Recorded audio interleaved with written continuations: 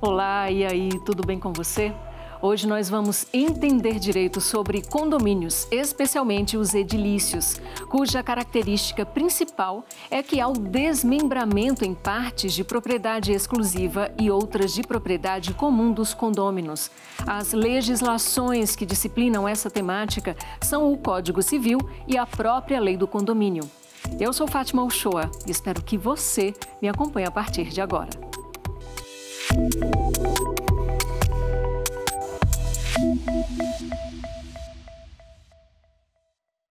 E bora olhar aqui diretamente para o nosso telão, porque eu já estou com os meus convidados de hoje. Vamos conversar com Andrea Reski, ela que é advogada condominial e imobiliária há 17 anos, professora e mentora, líder da SEX, a comunidade experts em condomínio. Professora Andrea Reski, muito bem-vinda aqui ao Entender Direito.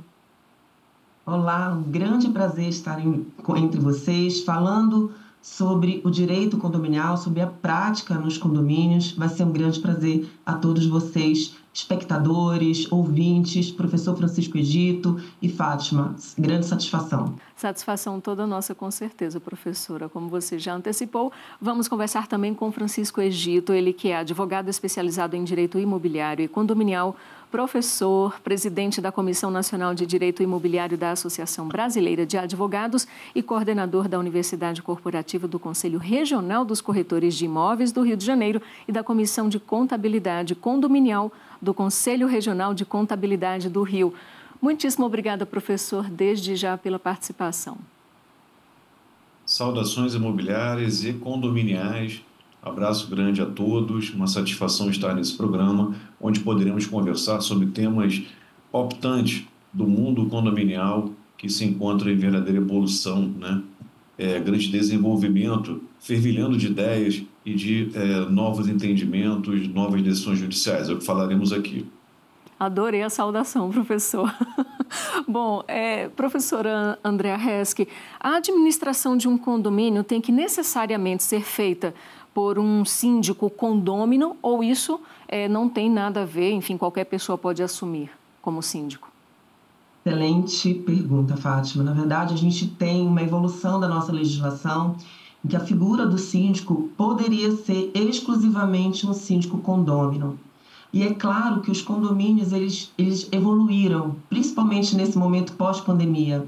Então, nós temos também muitas pessoas dedicadas que são estranhas à relação condominial estudando, se preparando, profissionalizando, apesar de não ser ainda né, né, necessariamente uma profissão, mas como estudiosos, entendedores do mercado condominial. Então, sim, hoje podemos ter a figura do síndico morador condômino ou síndico não condômino, né? vulgo síndico profissional. Uhum. É, professor Francisco... Fazendo um complemento a esse ponto, que acho Por que é a questão central de todo o direito condominial, é, a, essa figura, o síndico, né, o gestor da propriedade em condomínios, ele é, ganha destaque. Tá? Ele é o capitão dessa nau chamada condomínio, ele é o principal ator, ele é o órgão executivo do condomínio. É, no passado, nós tínhamos condomínios de menor tamanho, menor aporte, com é, estruturas mais simplificadas. Hoje temos condomínios comparáveis a mini cidades, né? com grandes áreas de lazer, estrutura comercial, a legislação que avança, as demandas que é, é, são centuplicadas, é, questões de, de, convivência, todo esse estado de coisas é, exige uma figura mais capacitada, exige uma figura que possa se doar em tempo integral. Então, no passado, nós tínhamos os síndicos moradores, é, aqueles síndicos que faziam por amor, daí a serem amadores, era uma ocupação é, que não ocupava o tempo integral daquela pessoa, ela tinha a sua atividade ou profissão principal. E hoje nós temos muitos síndicos que fazem dessa atividade a seu principal meio de ganhar a vida, daí eles serem profissionais, daí viverem dessa, dessa, dessa atividade de maneira a, a ser a sua principal atividade profissional, né, seu meio de, de, remuneração. Eles declaram publicamente que essa é a profissão que eles exercem. Então, são os síndicos profissionais. Sobre o vínculo né, que liga essas pessoas, é, não precisa ser é, morador, não precisa ser condômino, pode ser uma pessoa externa. Isso é o que diz o artigo 1347 do Código Civil. E aproveitando o professor Francisco, eu, eu gostaria de saber quais as principais responsabilidades de um síndico, ou seja, desse profissional. Bom, quer profissional é, ou orgânico, né? Existem vários nomes, né? O síndico interno, síndico é, morador, síndico orgânico, síndico voluntário. É, percorrendo o Brasil afora, nós escutamos essas expressões. Esse seria aquele é, que não é o profissional nem que vive dessa atividade. Da mesma forma que nós temos o síndico externo, o síndico dito profissional, né? É, que é aquele que vive e se dedica ao exercício dessa atividade. Então, pela sua experiência, pelo seu expertise, pela sua especialização, pelo seu conhecimento técnico, ele exerce essa, essa atividade de modo profissional e como sua principal meio de ganhar a vida, né? de forma remunerada principalmente. O síndico orgânico ele pode exercer de forma não remunerada, talvez até só com isenção na cota, em alguns casos a remuneração sim, e não há nenhum problema com relação a isso. Bom, é, ambos os, os síndicos, né, não existe diferença na lei, a lei fala apenas em síndico, o que vai ser diferenciado talvez seria se um profissional orgânico e do profissional vai se esperar muito mais conhecimento, muito mais técnica. Né? Ambos possuem uma série de obrigações que estão ali no artigo 1348 do Código Civil, que são obrigações gerais. A par das obrigações gerais previstas no direito, nós temos obrigações específicas em cada microsistema é, condominial, em cada convenção de cada condomínio. Então, a convenção é que vai dizer as funções do síndico, atribuições, responsabilidades, complementando o que diz o artigo 1348. E aí, é, a Andrea pode falar sobre algumas atribuições do 1348, mas eu já levanto aqui algumas dessas é, atribuições né, que vêm ali elencadas. Por exemplo, ele deve convocar a Assembleia de Condôminos, ele representa ativo e passivamente o, o, condomínio, ou seja, uma demanda judicial, ele tem que estar ali para representar, uma questão na prefeitura, uma questão administrativa, ele celebra os contratos também, ou seja, tudo que for relativo ao interesse comum dos condôminos, o síndico deve agir. Ele recebe um mandato, é, que é um contrato do direito, né? ele recebe poderes para gerenciar é, os interesses dessa coletividade. Ele deve cumprir, fazer cumprir a convenção, o regimento interno e as determinações da Assembleia, esse ponto é muito sensível, porque o síndico, ao aplicar as normas, ele adquire não raro inimizades, ele adquire perseguidores, pessoas que não compreendem esse papel dele, que é um papel muito difícil ele deve tomar todas as medidas para manter a propriedade, zelar pela propriedade, é, para realizar as manutenções nos sistemas e nas instalações prediais. Ele deve conservar né, essas partes comuns, zelar pelos serviços que interessem aos condôminos, elaborar receita é, e, o orçamento né, da arrecadação e da despesa relativa a cada ano é outra atribuição do síndico também cobrar dos condôminos as suas contribuições, veja que fonte né, de, de permanente inimizade, o síndico cobrar do condômino que paga a sua cota condominial, impor as multas, aplicar as multas, as penalidades pelo atraso, pelo descumprimento dos direitos e deveres previstos na, na convenção do condomínio demais regras. Ele presta contas à Assembleia de condôminos realiza aí o seguro da edificação. De maneira geral, é o que diz o artigo 1348, mas existem sim é, outras atribuições desse síndico e cada condomínio pode estipular né, é, outras, é, outros deveres, outras obrigações para esse síndico no curso do seu mandato. Professor André, falando aí. Por favor. É, perfeitamente, complementando o que o professor Egito falou muito bem, é, a gente precisa entender, porque esse é um dos pontos de conflito em muitos condomínios, é assim, qual o limite de atuação do síndico, inclusive, né? Será que o síndico ele pode, por exemplo, interferir em direito de vizinhança, de briga entre vizinhos, entrar em picuinhas pessoais? Exatamente a gente ratifica essa posição do síndico como um grande guardião dos interesses coletivos. E daí a gente tem todos os desdobramentos justamente pela representatividade ativa e passiva que ele tem perante todos os interesses da coletividade. E daí a gente tem todos os desdobramentos referentes a cuidado da manutenção e conservação das partes comuns, da prestação de contas e, sem sombra de dúvida, cobrança da cota condominial, mas sempre, então, na defesa dos interesses coletivos. E sim, é, existem muitas responsabilidades, né? A gente fala dessas mínimas que estão esculpidas ali dentro das competências do síndico no 1348, mas sem sombra de dúvida se eu pudesse enumerar se a principal, sempre trazendo esse viés do olhar coletivo. E com base nisso a gente tem é, essas demais, esses demais atos né, que são reflexos dessa obrigação, desse dever precípuo. Entendi. Bom, a gente falou aí dessa missão hercúlea, árdua, e importantíssima do síndico, a gente vai passar agora a falar sobre essa estruturação predial, enfim, falar um pouquinho dessas, é, dessas relações aí entre, entre condôminos, né? Eu queria saber, professora Resk, quais os exemplos, assim, na prática, do que pode, o que não pode ser mudado numa fachada de um prédio? O que nós temos, então, sobre as alterações de fachada? Nós vemos que o Código Civil, ele traz que é proibido a defesa ao condômino realizar alterações na fachada. Só que, ao mesmo tempo, pegando o gancho do que estávamos conversando sobre uma das dos deveres do síndico, que é cuidar, manter e conservar a, as partes comuns, sabemos que a fachada integra as partes comuns e ela pode perecer, ela necessita conservar e manter. E muitas vezes, nessa manutenção e conservação, por elementos né, que precisam ser modificados, haverá uma alteração. Então, primeiro, qual a intenção de se vedar a alteração de fachada? Sem sombra de dúvida, a primeira intenção é manter a segurança e a solidez da edificação, já que a gente tem um conjunto arquitetônico, né, que no primeiro olhar ele precisa ser realmente seguro. Então, qualquer alteração de fachada que venha colocar em risco, como por exemplo abertura de vãos, né, você suprimir colunas, enfim, às vezes na fachada você realmente tira, né, suprime uma coluna ou faz uma abertura de um vão, tudo isso já que hoje nós temos dentro ali do direito de propriedade até essa sim esse direito, né, de reformar, de construir as unidades autônomas. Só que muitas vezes essa alteração ela chega na fachada. Ela realmente compromete a fachada. Então, primeiro ponto, segurança e solidez da edificação.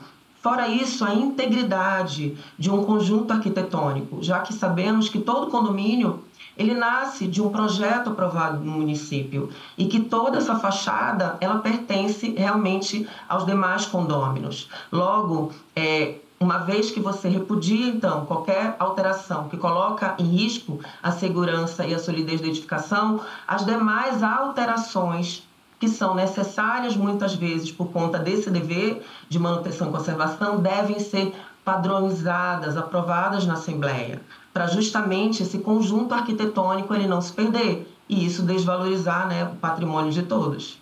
Uhum. É, professor Francisco Egito, a gente sabe que em, em relação às áreas comuns, há limitações para o exercício da liberdade dos condôminos. Para as áreas de uso exclusivo, também há certas limitações, como, por exemplo, as vagas de garagem. Eu gostaria de saber se essas vagas elas podem ser alugadas ou vendidas para alheios ao condomínio? É uma, uma boa pergunta. Bom, é, o código traz a estrutura jurídica do condomínio e no artigo 1338 ele diz o seguinte: resolvendo o condomínio alugar área no abrigo para veículos, preferir-se-á em condições iguais, iguais né, qualquer dos condôminos a estranhos e entre todos os possuidores. Então já estabelece ali um critério para que você dê preferência inicialmente a um condômino, um titular de propriedade também, é, diante de um terceiro, né? E a outra questão é, entre terceiros, bom, vamos é, dar preferência àqueles que já são possuidores, àqueles que já estão no condomínio. Em último lugar, os estranhos. A questão é que esses estranhos, se houver uma vedação da convenção, eles não poderão locar.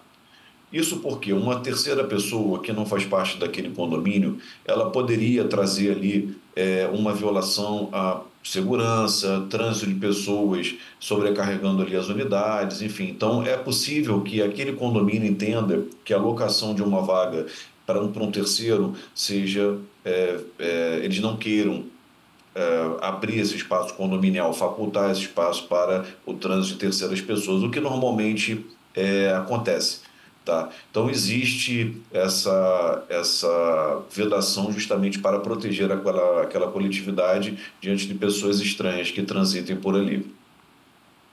Importante, inclusive, gostaria de complementar também, é, Fátima, é que a gente tem um abrigo de veículos, vulgo garagens de condomínio, com naturezas diferentes, né? como você bem, bem é, abordou. Sendo ali uma área comum de uso exclusivo, área comum geral, parte acessória, unidade autônoma. Mas exatamente entendo que, que o legislador ele quis é, é, priorizar a segurança, a segurança, quando, apesar de você ter o direito de propriedade, mas que pode estar, inclusive, ali autônomo, né? Você tem uma matrícula é, individual daquela vaga de garagem, mas para realmente você poder alienar e locar para terceiros, somente com previsão na convenção e aprovação na Assembleia. Uhum. Ainda com você, professor André Reis, que a gente sabe que é, há limitações enfim, das mais variadas formas para que se mantenha, como você bem destacou, a segurança de todos os condôminos. E com relação ao aluguel das unidades, há uma maior liberdade do, é, do condômino para fazer esse tipo de negociação com alheios, claro? Excelente. Então, essa questão é uma questão bastante né, presente, atuante, com muita discussão principalmente por conta dessas locações de curta temporada, por aplicativo. Então, o que, que eu gost, gostaria de considerar? A gente sempre tem dentro do condomínio, que é essa estrutura complexa, existe esse vínculo indissociável né, de unidades privativas e de partes comuns. E são coproprietários das partes comuns da fração ideal, mas sempre haverá um direito de propriedade único, exclusivo, e isso leva a muitos condôminos, né, que quando adquirem por falta de informação e de conhecimento de não, compra minha unidade, né, um apartamento, uma casa e vou poder fazer o que eu quiser. Inclusive, quantos investidores, Fátima, fazem aquisições né, de unidades, reformam, objetivando fazer locações. Só que nós temos a locação, que é uma locação regular, uma locação ordinária, que pode chegar aí a 30 meses, 20 meses, 12. Essa é como se, dentro do direito de propriedade dele, isso não causa um incômodo, como o professor Francisco Egito né, bem pontuou, na saúde, na segurança, no sossego dos demais coproprietários. Só que começamos a ter problema com locações de menor em menor período, justamente por conta da falta de vínculo, né, de compromisso com esse locatário, que passa a ser, na verdade, um hóspede, e aí, sem entrar muito nesse mérito, mas trazendo muito mais sobre esse direito, sobre esse limite do direito de propriedade por conta dessas locações. Por quê? Porque essa unidade, apesar de ser privativa, exclusiva, ela faz parte de um condomínio.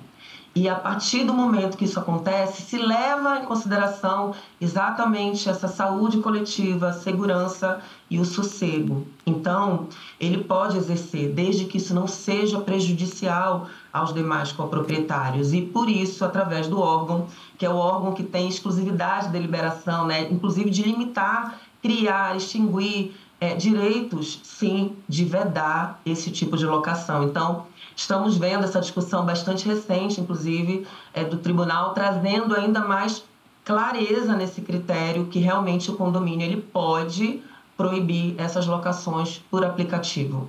Justamente por conta da finalidade do condomínio ali, que é mais residencial, e que queremos não ter tanta, é, tanto rodízio, tanta entrada de pessoas colocando em risco esse sossego coletivo, a saúde e a segurança. É, só para complementar, é, só, só, abrindo um parêntese, por favor, é, com o perdão da palavra, é, professor Francisco. O STJ, na verdade, entendeu que é possível essa proibição, mas é necessário, então, com você, professor Francisco, é necessária essa proibição com previsão em convenção? Bom, eu gosto sempre pra curta temporada, né? O aluguel para curta temporada, só para deixar bem claro. Certo. Eu gosto sempre de refletir sobre os institutos, né? Porque aí você consegue aplicar a norma e entender bem o fato social e como o direito deve tutelar esse fato social. É...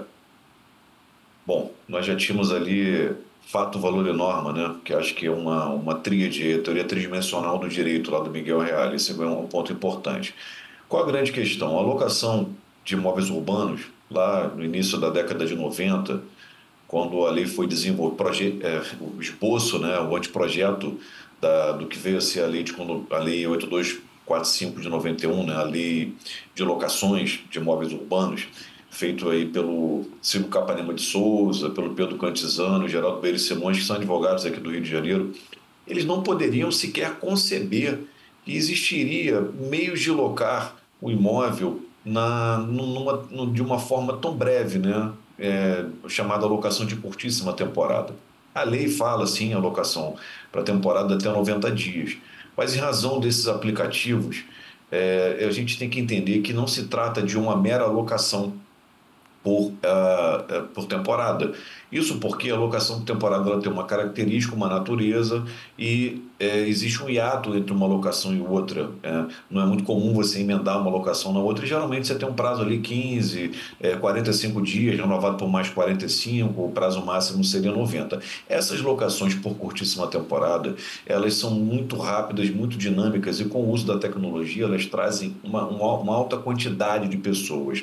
E se torna, como já se, já se decidiu, é, talvez um contrato de hospedagem atípico e o objetivo, é, uma finalidade mais econômica.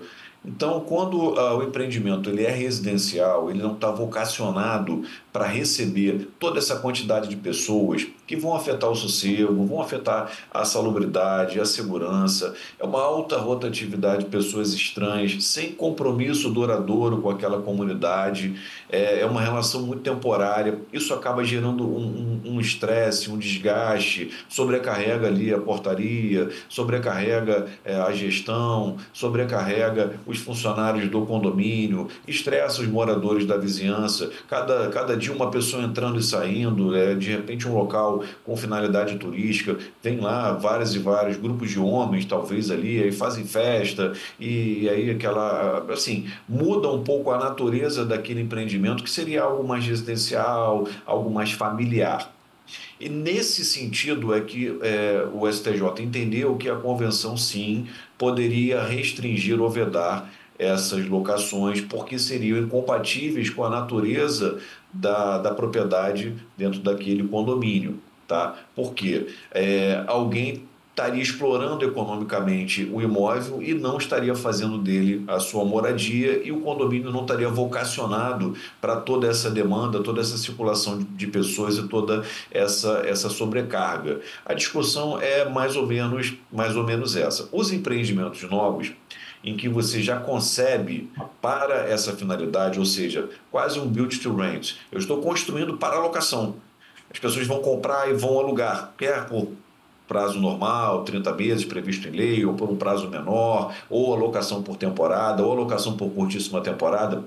As convenções, que são os estatutos sociais e coletivos daquele microsistema jurídico, daquele condomínio, as convenções já prevêem esse tipo de locação. O empreendimento ele já é construído e estruturado é, com esse viés. Então a pessoa já compra o imóvel ali, já sabe que é permitido, ela já compra, já investe o recurso ali para essa finalidade. Creio que realmente seja a grande diferença. Tá? É, é, a discussão ela passa por essas bases. Uhum. É, professor André que inclusive temos uma súmula aqui do STJ falando ainda sobre convenção condominial, né? A 260 aqui do STJ prevê que, se aprovada essa convenção, ela regula bem essas relações entre os condôminos, né? Exatamente. É, a convenção, a gente sempre fala, né, usando de uma forma bem simples essa comunicação, que é como se fosse a nossa Constituição Federal. Prefeito interno, ah. né, a norma maior de um condomínio. Adorei é, essa, essa comparação, adorei. É, é, porque a gente tem várias normas no condomínio, tem convenção, o regimento interno, a gente pode até ter um regulamento para trazer ainda mais, mais peculiaridades, mais normas cotidianas.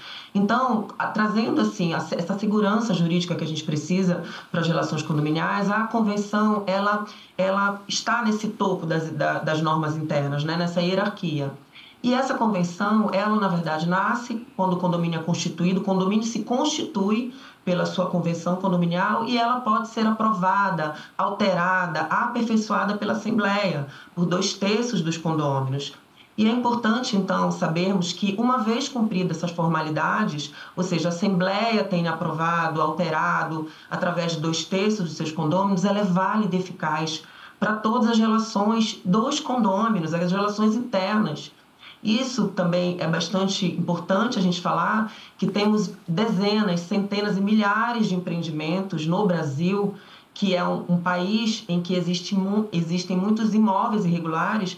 Temos condomínios que têm irregularidades, que são condomínios de fato. E essas convenções, então, elas não são levadas a registro no cartório de registro de imóveis.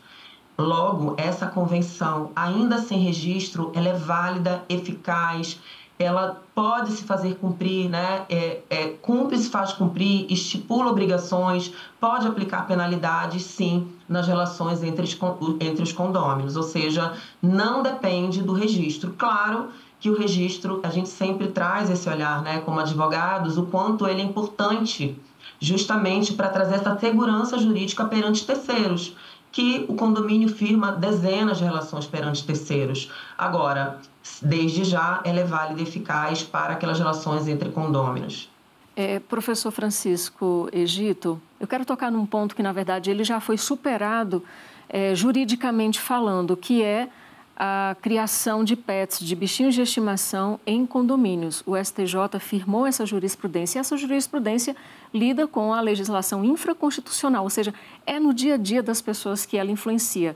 E eu gostaria que você discorresse um pouco sobre esse ponto, que muita gente, por incrível que pareça, ainda não sabe. Então, para todo mundo entender direito e ficar por dentro sobre essa jurisprudência já firmada e consolidada com relação à criação de bichinhos de estimação em condomínio. Olha, até para falar sobre animais, é, nós teremos que ter uma preparação muito específica. E eu brinco que na, na faculdade nós mal estudamos direito imobiliário, dirá chamado direito condominial.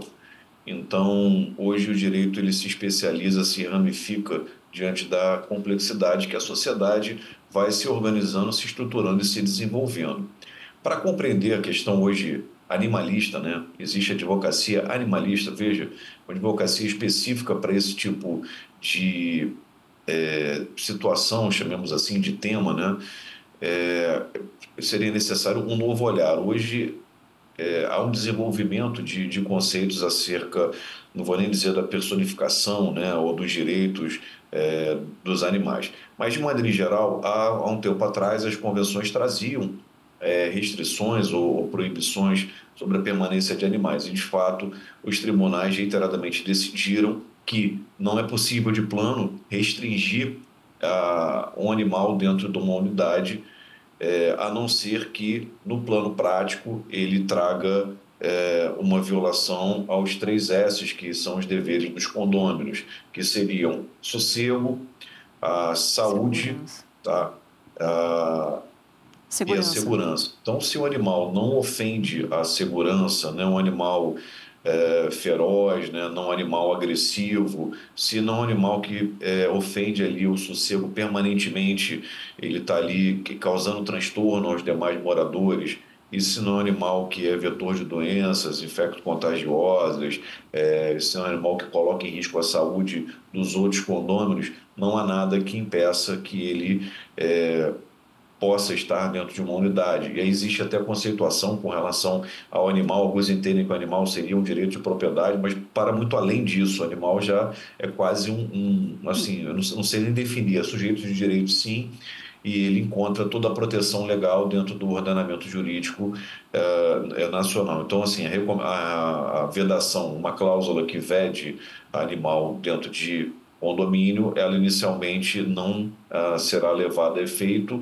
a não ser que no plano prático esse animal traga risco para os demais condôminos e que haja uma ofensa aí aos três S, né? segurança, sossego e a salubridade. Não sei se a Andréa quer complementar alguma coisa a respeito, mas passo a palavra para ela. Excelentes colocações, professor Dr. Francisco Egito, concordo. É, sim, a gente tem essa, essa hoje é difícil, né, esse vínculo, inclusive afetivo. E eu sempre faço um comparativo que é, o animal, né, que não, não é uma pessoa, mas ele também precisa ser sociável, assim como o condômino precisa ser, né? O condômino também não pode é, oferecer risco à saúde, segurança e sossego dos demais. Então, qualquer medida desrazoável, né, de você, por exemplo, não proíbe uma pessoa de, de morar porque ela tem qualquer é, é, é, transtorno, qualquer problema, ou ela é mais, mais alta, mais baixa.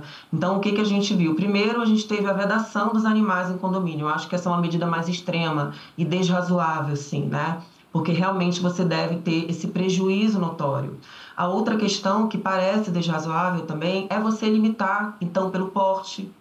É, temos também vários precedentes, então um cachorro pequenininho pode, um cachorro maior não pode. E quantas vezes a gente tem um cão maior, né? que na verdade ele não oferece, ele nem, ele não, nem, nem late. E tem um monte de pequenininhos que podem sim vir causar aí, é, tirar o sossego dos demais proprietários. E também seria legal a gente trazer é, outro, o outro vários precedentes que a gente tem sobre essa obrigação, por exemplo, de carregar esses pets, né? de não circular nem no solo, nem com coleira, e ser obrigado aqueles condôminos também carregarem. E temos vários precedentes também, percebendo que existe aí um excesso um abuso de direito né, cometido pelos condomínios, porque não é uma medida que por si só é, o fato dele circular, como, como o professor Francisco Egito falou, não quer dizer que ele vai é, é, transmitir doenças, que vai oferecer qualquer risco. E sim, realmente, um comportamento agressivo, um comportamento né, que, que nesse, nesse olhar geral, né, lato senso, antissocial, que demonstra ali que deve haver mais uma cautela. Então, também, Fátima, é importante a gente bem falar, como você trouxe, que existe toda uma legislação infra. Então, nós temos normativa estadual, municipal, mas que não deve ferir a nossa norma maior, que é a nossa Constituição Federal. É, que seja por um desdobramento aí do direito de propriedade, tudo isso, adotar essas medidas que são desrazoáveis. Uhum. Agora, vamos falar sobre, efetivamente, sobre dívida é, professor Francisco Egito, eu queria saber em quanto tempo essas dívidas condominiais elas prescrevem? O entendimento do STJ é que o prazo é quinquenal, cinco anos, nos termos do artigo 206, parágrafo 5 inciso 1 lá do Código Civil. É, isso já foi decidido. E isso traz algumas, algumas consequências, porque existem casos que a dívida se encontra prescrita, mas ela permanece ainda dentro dos relatórios administrativos do condomínio, ou seja, o condomínio não pode utilizar-se de meios judiciais para a cobrança da dívida, mas essa dívida pode ser cobrada extrajudicialmente. Não significa que, por ela estar prescrita, que é, o síndico deve baixar automaticamente essa dívida a unidade será devedora, é, ela pode procurar a administração para fazer um acordo, ela pode ser cobrada extra, extrajudicialmente, mas se o condomínio não quiser é, celebrar um acordo, não quiser pagar essa dívida, ele sofrerá as consequências da inadimplência, que lá no artigo 1335 nos direitos do está o de participar das assembleias de condômino estão no kit. Nesse caso, ele não está kit. A administradora auxiliar de condomínios não pode emitir uma declaração de quitação de condomínio. Se ele for vender a unidade dele, aquele que adquirir essa unidade também se subrogará nessa dívida, já que a natureza da dívida condominial é próprio terreno. Então, existe uma consequência. Seria de boa monta num caso como esse, tentar um acordo mais brando, né, mais amigável, é, mais alongado para facilitar aquele condômino de realizar o pagamento. Aí sim, se ele faz um acordo, uma confissão de dívida, uma vez não pago, ela pode ser cobrada pelos meios judicial, judiciais, porque esse instrumento aí de confissão de dívida seria um título executivo extra, extrajudicial. Bom, professor André Reski, o professor Francisco Egito, ele falou que as dívidas condominiais, elas são do tipo próprio terreno, ou seja, acompanham bem, né? acompanham a coisa e não a pessoa. Mas os inadimplentes com relação a essas taxas, despesas condominiais, eles podem ser impedidos de fazer efetivamente o quê? Por exemplo, usar as áreas de uso comum como as de lazer. Ele pode ser impedido disso? O que, que exatamente pode acontecer para compelir, né? para é, contribuir para que esse inadimplente ele se torne adimplente da dívida, enfim, fique todo, tudo quitado e não sobre até uhum. para o síndico, enfim, com sofrimento aí de uma destituição do, do, dessa função. Fátima, é incrível como a gente ainda tem problemas aí por todo o Brasil, né? Acompanhando tantos, tantas dezenas de pessoas por todo o Brasil. A gente vê também esse abuso de direito efetivamente contra os inadimplentes, sobre a sua propriedade, porque se nós estamos falando que esse é inadimplente ele é proprietário da sua, primeiro, da sua unidade privativa, mas co-proprietário das partes comuns. Estamos falando de um dever de pagar, de, né, de, de contribuir para o pagamento das despesas ordinárias, mas, por outro lado, o seu direito de propriedade. Então, nós não podemos, por conta de um dever de pagar e que ele precisa ser cobrado, é, extrapolar esse direito e agir com abuso de direito, cerceando, por exemplo, né, limitando o acesso dele às partes comuns. Então, eu entendo, e aí quero também que o professor Egito contribua, é, entendo que a maior penalidade que ele tem é justamente não participar, não votar nas assembleias né, e deliberar sobre esses itens. Fazendo uma pequena ressalva, que inclusive acompanha o entendimento de que deve haver cautela dos síndicos quando essas deliberações da Assembleia também forem relacionadas ao direito de propriedade. Então, nesse caso, é, parece razoável que esse inadimplente também vote. Temos vários precedentes sobre esse assunto. Então, se vai se rediscutir, por exemplo, é, observados coros qualificados sobre um, o acréscimo de área, alteração da destinação de área comum, é, o critério mesmo de rodízio de uso das vagas dos abrigos de veículo no condomínio, entendo que seja razoável. Porém, a maior penalidade para mim é que realmente ele possa, que ele seja ali cerceado do direito de, de participar e votar nas assembleias, mas acompanha também o entendimento de que nós não que deve haver cautela do síndico de proibir que esse condômino inadimplente esteja no recinto das assembleias, que na maior parte das vezes acontece nas áreas comuns, às quais ele é coproprietário. Uhum. Professor. Esse é um tema interessante e até polêmico. Uh, nos condomínios, o inadimplente é tratado muitas vezes como o causador de todos os males do condomínio, né? E a inadimplência também seria fonte eh, de muitos problemas. Aí caberia até uma avaliação. Por vezes a inadimplência é pequena, está sendo bem gerenciada, o inadimplente já paga com multa, com juros, com correção, acaba sendo até é, um, um, um, uma boa fonte de arrecadação para o condomínio se bem gerenciada. É, com relação à inadimplência em si, o síndico ele possui meios e maneiras de cobrar a cota condominial, ele deve contar com o suporte né, é, de uma boa administradora auxiliar para orientações procedimentais e de um escritório de advocacia para o tratamento jurídico. Né? Depois de uma cobrança administrativa, sim, uma cobrança extrajudicial por advogado, costuma surgir efeitos, surtir efeitos, é, celebrar acordo, enfim, notificações e ao final ingressar em juízo. O inadimplente ele já sofre as penalidades previstas na, na lei, que seria ele não poder participar de uma assembleia de condôminos, né, votar ou ser votado para uh, cargos, né, nem deliberar aí na, nas assembleias de condôminos. Com relação ao uso das áreas comuns, é, aquelas áreas que exigem pagamento para sua utilização, é óbvio que ele vai ter que pagar para utilizar. Mas eu me pergunto se é, de repente, para usar o salão de festas, ele tem que pagar 500 reais. Ele vai lá e paga esses 500 reais, mas ele tem uma inadimplência é, de 12 meses pretéritos. Né? Se ele estaria impedido de usar aquela área comum, porque ele tinha uma inadimplência prévia é, e apesar de ter cumprido o requisito de utilização daquela área, que é o pagamento, a contrapartida, é, eu acredito que ele poderia sim utilizar a área, seria medida mais sensata, ele, ele cumpriu lá a contrapartida é, dessa taxa adicional de utilização, embora ele tenha uma inadimplência já acumulada. Eu vejo com maus olhos qualquer tipo de restrição. Nós já vimos restrições das mais pavorosas. O condômino, cujo elevador, que era um por andar, foi desprogramado, é, reprogramado para não parar no andar dele, porque ele estava com a cota condominial em atraso. É, é, condômino que teve é, restrição né, é, de usar o próprio elevador, teve que subir de escada porque estava inadimplente, não podia transitar nas áreas comuns. Então, como a Andrea disse, isso é o abuso, né? abuso, vai além do uso, do, vai além do razoável do direito. Nós não recomendamos. Existem sim meios maneiras judiciais para você cobrar a cota condominial. E se isso é inadimplência crônica, existe alternativa da cessão da do crédito da cota condominial. Claro que é bem polêmico se discute bastante se é bom ou não para o condomínio, mas é, existe essa possibilidade da cessão é, dos créditos e o condomínio vai receber tudo mesmo uma importância e vai conseguir sanar um grande problema, a depender do condomínio, né, que é a inadimplência. É, professora Andréa, eu gostaria de falar agora sobre o IPTU. A quem cabe pagar esse imposto com relação às áreas de uso comum?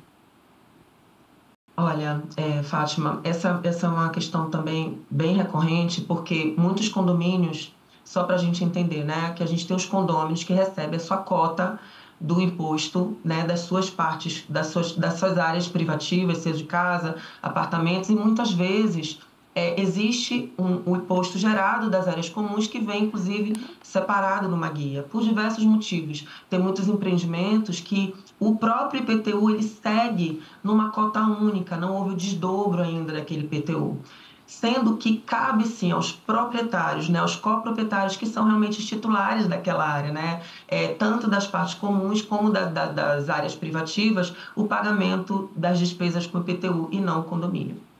Professor Andréa, no caso de compromisso de compra e venda que ainda não foi levado a registro, né, a quem caberia a responsabilidade pelas despesas do condomínio? Seria o promitente vendedor ou o promissário é, comprador?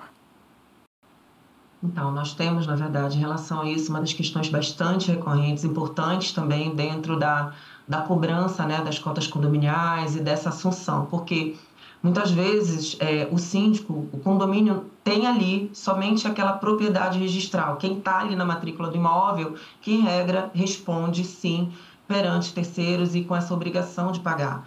Mas nós temos também então, uma obrigação, a gente tem também um outro marco que é o vínculo. Existe a emissão né, na posse, a efetiva entrega das chaves para aquela nova, um novo adquirente, um promissário, comprador, enfim, que isso também é bastante importante para determinar essa obrigação de contribuição das cotas condominiais. No entanto, é, temos, é, em casos específicos, então, por exemplo, de uma unidade que vai à penhora, é, se a gente não tem esse contrato efetivamente registrado ainda, é claro que existe aí uma, uma, obrigação concorrente daquele proprietário que ainda está na matrícula do imóvel e, por outro lado, o compromissário comprador, o promitente comprador.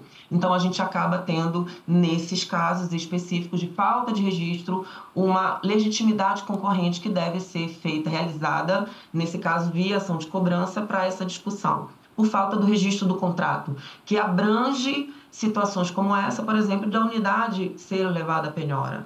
Mas não podemos deixar de lembrar que a efetiva posse, a tradição, a entrega das chaves é um marco bastante importante para determinar também a responsabilidade sobre o pagamento das cotas condominiais.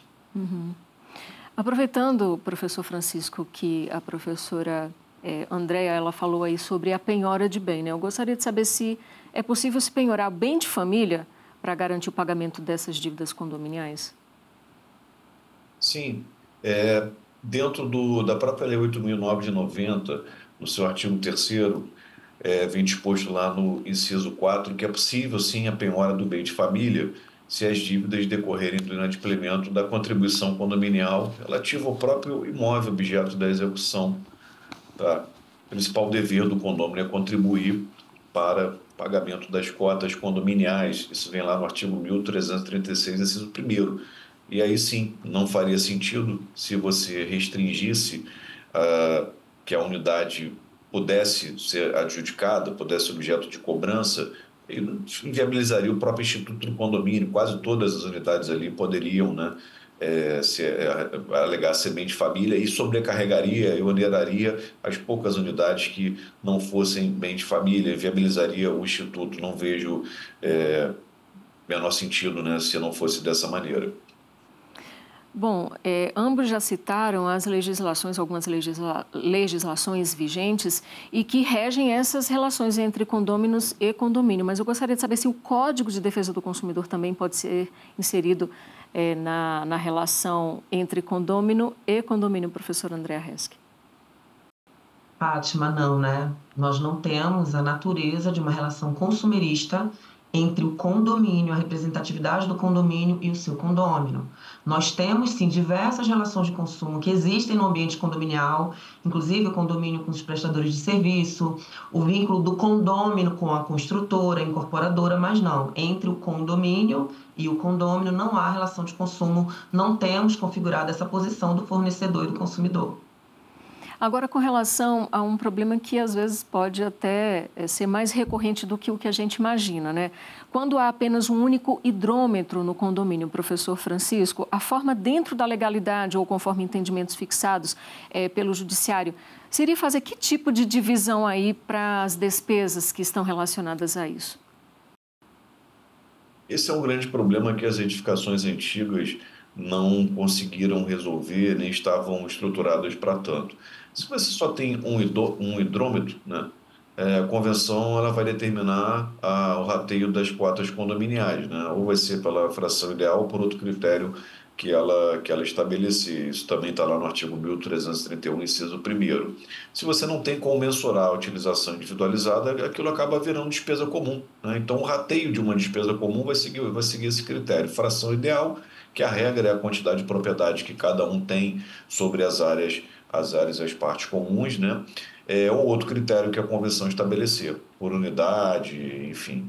É, a solução nesse caso seria individualizar mas existem condomínios em que não é possível individualizar, porque as estruturas e os sistemas prediais não, não conseguem é, permitir a estruturação da individualização, seria uma questão de engenharia, ou outros casos que até ela seria possível, mas a solução para a individualização seria inviável, justamente por conta do alto custo de recurso, né? O próprio recurso para fazer a obra, tempo, gestão, enfim, acredito que é um problema que é, para os condomínios com único hidrômetro fique para trás. O que também está sendo discutido é, e teve aí o tema 414 do STJ recentemente, algumas associações participaram, a ABAD aqui do Rio de Janeiro participou, enfim, e as administradoras locais vêm apoiando isso é a cobrança da tarifa de água no valor de consumo mínimo multiplicado pelo número de economias existentes no imóvel quando houver apenas um hidrômetro no local. A cobrança pelo fornecimento de água aos condôminos em que o consumo total de água é medido por um único hidrômetro deve se dar pelo consumo real aferido, né? e não por esse cálculo aí com base nas economias. Isso tem gerado muito problema é, em várias companhias aí e, ao redor do Brasil. Aqui no Rio de Janeiro, muitos problemas é, de condomínios com relação às companhias. Alguns advogados intentaram ações, enfim, mas é necessário pacificar esse entendimento para que o judiciário se posicione a respeito. Tá? Então, o único hidrômetro costuma ser fonte permanente de problemas. Se fosse como a relação de fornecimento de energia elétrica, a relação é da companhia com a unidade. A unidade não pagou, há ali o corte. Pronto, resolveu a questão, uma relação de consumo. No caso da água, quase sempre a água chega até o condomínio e há um único hidrômetro. Isso aí é fonte geradora de muitos e muitos problemas e tensões entre os condôminos. Professora Andréa, é, com relação a vícios de construção, seja em unidades é, de uso comum ou nas unidades autônomas, o condomínio ele tem legitimidade para ajuizar a ação, por exemplo, contra a construtora, para sanar esses vícios, enfim, haver esse reconhecimento de vícios? Sem sombra de dúvida, né, Fátima? Essa é uma questão bastante recorrente, importante nos condomínios.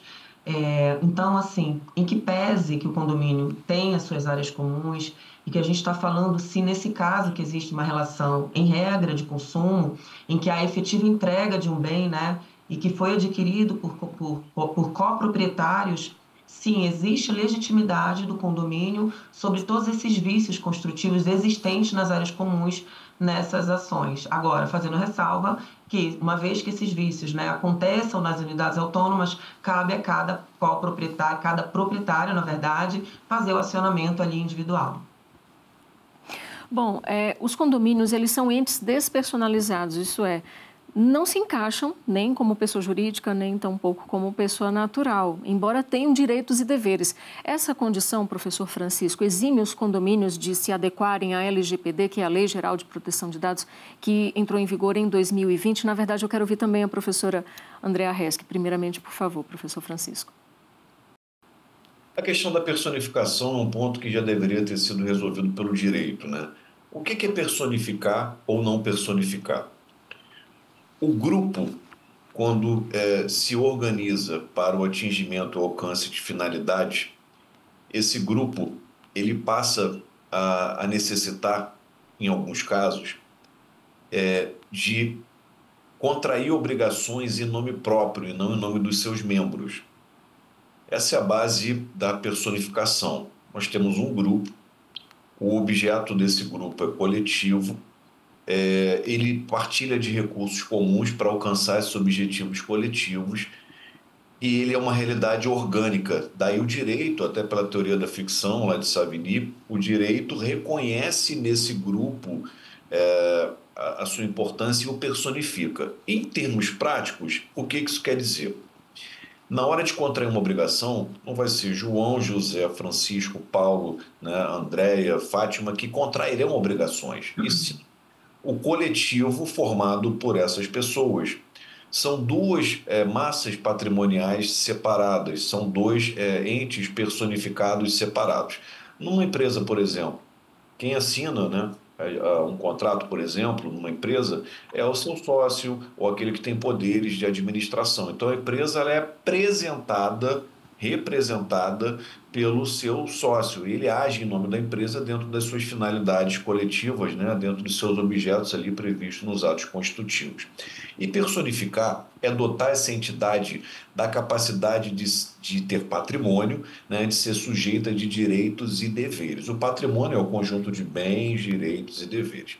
Feita essa introdução, o condomínio, ainda que a lei, lá no artigo 44, tenha entendido, não tenha adotado o condomínio de personificação, é, e a lei fala lá, são pessoas jurídicas de direito privado, as empresas, as associações, as fundações, mais recentemente partidos políticos e igrejas.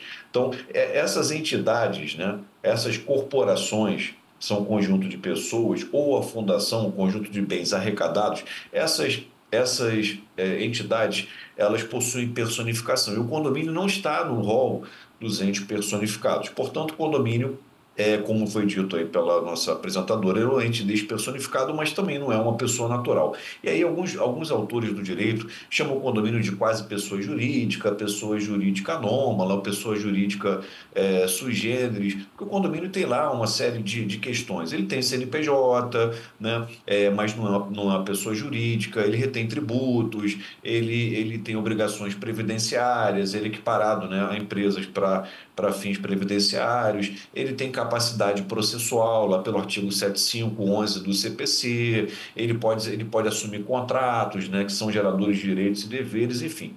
Nesse sentido, Independente da personificação do condomínio, nós temos que olhar o seguinte: qual o objetivo da LGPD? É a questão dos dados. Né? Então, dentro de um condomínio, trafegam dados fundamentais. A Constituição ela elevou esses dados aí pessoais a direito fundamental. A LGPD ela é um instrumento de reafirmação né, e de proteção desses dados pessoais. Nesse sentido, todas as organizações humanas, quer sejam personificadas ou despersonificadas, quer tenham fins lucrativos ou não tenham fins lucrativos, todas as organizações humanas, e incluindo o condomínio como uma organização humana, deve ser responsável pelos dados pessoais. Veja, não pode um porteiro publicar placa de carro, foto dos filhos, imagem de morador, dados pessoais, endereço, RG né, e CPF. Seriam aí as minhas considerações iniciais a respeito desse tema. Por favor. Fazendo um complemento, Fátima, por favor, Egito, Francisco Egito, como você bem falou, é, nós temos, então, assim, sempre houve uma cautela com esses dados, né, e muitos problemas nos condomínios, por conta exatamente da divulgação de dados, de, de imagens, né, dados sensíveis, é, não autorizados, fazendo um desvio de finalidade daquilo que o condomínio precisa fazer. Então, se eu tenho um CFTV é, que é que, que pega né, essas imagens justamente para guardar a edificação, manter a segurança, eu não posso divulgar a outros condôminos. E hoje nós temos expressamente numa resolução também da, da Autoridade Nacional de Proteção de Dados que é, a LGPD, claro, abrange os entes despersonalizados. Eu, salvo engano, é a número 2. Então, muitos síndicos ainda por falta de informação, que isso é natural, né, Francisco e Fátima? Quando a gente tem uma nova legislação, como um dia aconteceu com o Código de Defesa do Consumidor, é, que não, a gente não tinha essa facilidade do entendimento da lei. Hoje qualquer pessoa sabe o que é uma venda casada, é, o que é, enfim, todos esses problemas. E eu, eu, entendo que a LGPD vai passar por esse ponto, mas temos dificuldades ainda de muitos condomínios e síndicos e nós todos devemos contribuir com essa informação da necessidade do início dessa adequação, porque percebemos que isso está sendo, autoriz... É, está sendo analisado, né? Não a completa adequação de um condomínio, porque é um procedimento bastante complexo e você tem o porteiro, né, Francisco? Nós temos, assim, realmente, muitas vezes, é, essa dificuldade até de é, controlar a entrada e saída. Quem dirá o controle completo dos dados dos condôminos. Mas entendo que sim, que toda cautela, Fátima, então, os problemas que a gente tem hoje, o que, que mais temos né, de demandas relacionadas ao tempo, a esse tema. Então, a divulgação de dados privativos desnecessários, de forma com, com essa, essa ausência de uma finalidade específica.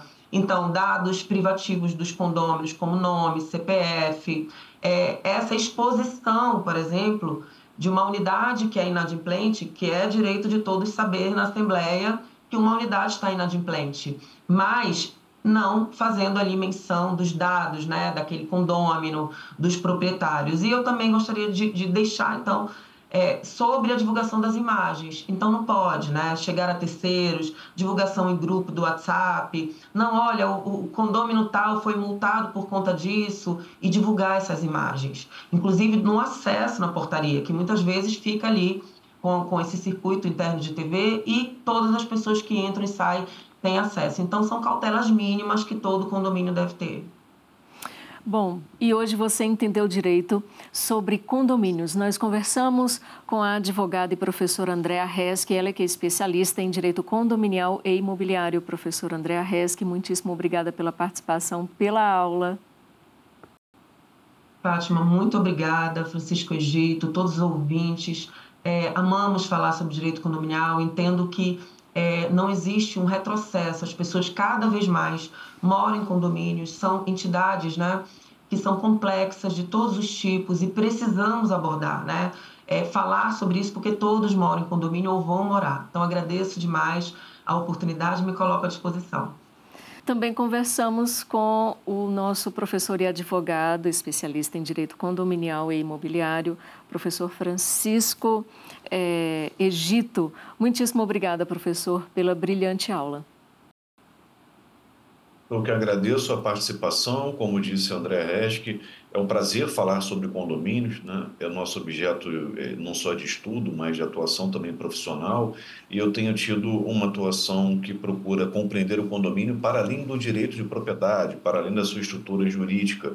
O condomínio pode ter uma visão também contábil, dentro do seu aspecto patrimonial, que é muito importante. O condomínio pode ter uma visão da ciência da administração, e esse tem sido meu objeto de estudo, né? e até agora na dissertação, na no mestrado em administração, olhar o condomínio como uma organização, né? olhar o condomínio dentro desse viés administrativo. O condomínio pode ter um olhar sociológico e por aí vai. Né? Realmente é algo complexo e a complexidade só se resolve com a atuação conjunta de uma ou mais ciências. E o jurista, o papel do jurista, antigamente nossa formação não era apenas em direito, nossa formação era em ciências jurídicas e sociais. O papel do jurista é compreender o direito dentro de tantas transformações sociais, dentro de um mundo é, de tecnologia disruptiva, de novas relações produtivas, novas relações sociais, econômicas, e sempre é importante debater sobre os institutos para melhor compreendê-los. Né? Novamente, me coloco à disposição, agradeço o convite, contem sempre conosco. Muitíssimo obrigado, uma honra para nós todos aqui da equipe do Entender Direito contar com essa aula tão incrível de vocês dois. E muito obrigada por sua companhia aí do outro lado, aqui no Entender Direito, seja na Rádio TV Justiça ou nas plataformas de stream de áudio e de vídeo. E se você aí nos acompanhou pelo YouTube, lembre-se de fazer sua inscrição para não perder nada do canal do STJ. Ative o sininho de notificações e aperte o joinha, e só assim o YouTube vai entender direito que o material vale a pena sugerir para outras pessoas. Curta e compartilhe à vontade este e outros conteúdos. A gente se encontra.